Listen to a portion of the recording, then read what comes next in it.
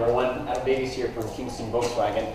And uh, today we have the great pleasure of finally showing you the next generation Golf wagon. Uh, it's actually called the Golf Sport Wagon that's sitting here uh, in our showroom here at the dealership.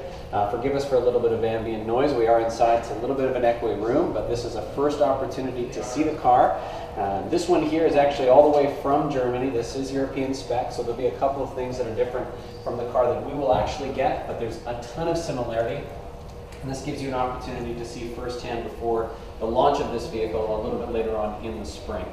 Uh, so we're just going to take you on a short tour so you can get a, a feel of the car overall, uh, point out a few details and facts, and, uh, and from there, then of course, you'll have the opportunity to drive the car in the spring or purchase yours beforehand and still drive in the spring, but be one of the first ones in Kingston to enjoy it. Uh, as we go from the front to the back, we'll just point out a few of the styling cues. First of all, you've probably seen it on the 7th generation Golf already, but you can see our bi-xenon headlight with LED daytime running light apparatus here equipped on this car. Uh, when you do uh, proceed with these headlights, it does come with the adaptive front lighting system, but a fantastic look for this vehicle. Of course, improved visibility and safety with this lighting package as well, but it does give you that signature Volkswagen look on the uh, Golf Sport Wagon. This is built on the MQB modular architecture platform, so incredible weight savings, over 200 pounds on the car overall, so much improved fuel economy, regardless if you're looking at gas or diesel. Uh, and as you can see as well, the car is sculpted a little bit um, more muscular than before. You can see the tornado line and dynamic lines are a little bit more clearly accented. You can see the sculpting even up over top close to uh, where the door frames are on the car. There's a, a lot of visual cues that really sort of speak to the modern nature of this particular vehicle. Uh, gorgeous looking alloy wheels. We won't unfortunately get these rims, uh, at least not right away, but uh, fabulous look on the car. Now if you want to come around to the back, I just want to show you a little bit from the rear. So a couple of the cues again that you'll see from the, from the Golf hatchback, uh, when the hatch does flip open with the emblem. And as we open up, still a huge, huge trunk space. Uh, the trunk space in this one is the same trunk space as we did experience with the last generation Passat wagon with the seats up. So we're actually growing the car overall, both width and length, and we're going to improve our carrying space in the vehicle. A small um, sort of technical improvement or uh, convenience improvement, you can see the seat releases all the way at the back of the vehicle uh, are here as opposed to having to go in through the passenger doors. So you can actually release the rear seats with just a pull, which is very, very convenient. And of course, just like previously, uh, this component does come out if you want to improve your storage. All right? Just pull this down and show you a little bit more of the inside.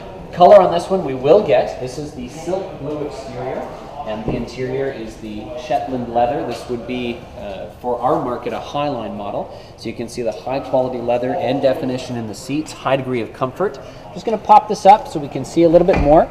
In the back, you've got, excuse me, an armrest here that allows you to uh, put a couple of cups in there and looks like graduated sizing. Not sure if we'll get that exact spec for our cup holders, uh, but it sure would be nice. And I'm just going to sit inside. The previous person who was driving this car uh, was about six foot two, and you can see for somebody who's six foot two who would have been sitting in front of me, I've got quite a bit of knee room, and I'm five foot eleven. So this car's length, uh, a little bit longer overall, we're going to experience a little bit more rear passenger comfort. For so for those of you who've got kids and are looking at an alternative to a van, or for those of you who have you know bigger storage needs or you end up being the people who, uh, who drive all of your friends from the restaurant at nighttime. This is going to be a great car to accommodate all of those different needs um, over and above the, the previous generation wagon. I'm going to pop myself out here. To have a look at the front seat. You can see on the side for those vehicles that are so equipped, this is the keyless entry push button start uh, access. So it will be touch on the inside to release and touch on the outside to, to lock the vehicle, just like the current uh, seventh generation Golf. Again, being a Highline model, we've got a 12-way adjustable power seat. And I'm just going to pop myself in here as shown around. Again, very, very high quality interior with Volkswagen, and certainly the 7th generation Golf has received a ton of reviews to that effect. Uh, but you can see the quality of the materials, leather wrapped steering wheel, uh, very high quality leather for the seats, soft touch dashboard, uh, high quality inlays with the chrome accenting. So fabulous looking in terms of equipment. Uh, you'll notice here on the instrument cluster that there's a there's a couple of features that we won't have in in our market yet. So just keep in mind. But the overall layout of the steering wheel is going to be the same. Uh, navigation screen is in the middle. That's a little larger than what we've seen in our Golfs. Again, not quite yet in our market. Uh, this is a European spec car, but we will of course have a standard touchscreen radio in every single Golf wagon that comes along with a standardly equipped backup camera. So for those of you who are concerned about parking, uh, this is going to alleviate any of those concerns you might have. You'll notice on the inside the badging for Dynaudio. The audio system that we'll get for our market is going to be the Fender tuned audio, uh, 400 watt, 8 speaker with subwoofer um, sound improvement, fabulous sound system, great accolades. So if you're looking for a premium audio experience, you're going to get it certainly with the Golf Wagon. But as you can see, very nicely bolstered seats, incredible degree of comfort in these vehicles, and we're still in a car, which is nice for some of you who like to have a, a bigger, uh, you know, storage space, but you don't want to drive a, an SUV. This vehicle is going to offer you that uh, that ability. I'm just going to pop out again here. The uh, vehicle is going to come at launch with either the 2-liter four-cylinder TDI diesel engine, 150 horsepower with 236 pound-feet of torque, or we're also going to offer the award-winning 1.8 liter turbo, 170 horsepower and 184 pound-feet of torque. So those uh, two engines will be available right at launch with either a five-speed manual or a six-speed manual, depending on the engine, and a six-speed automatic or a six-speed DSG automatic, again, depending on the engine.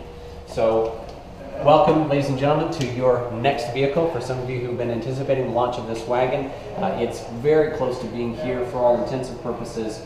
It's here now. So we hope you enjoyed the video. We hope that this answers a few of your questions about the vehicle. Of course, if you do have any further questions that this video didn't address and you're reading online couldn't address either, uh, please just email us at sales at kingstonvw.com or call in directly 613 384 1000. Speak to any of the Volkswagen sales reps who are uh, at the dealership. That would be either Jenna or Paul or Murray uh, or Nathan, and uh, any one of them will be able to help you uh, answer some questions about this vehicle and perhaps even place your order so you get one of the first ones. Anyway, thanks again for listening and watching, and we hope you have a wonderful day and uh, happy driving your Volkswagens out there.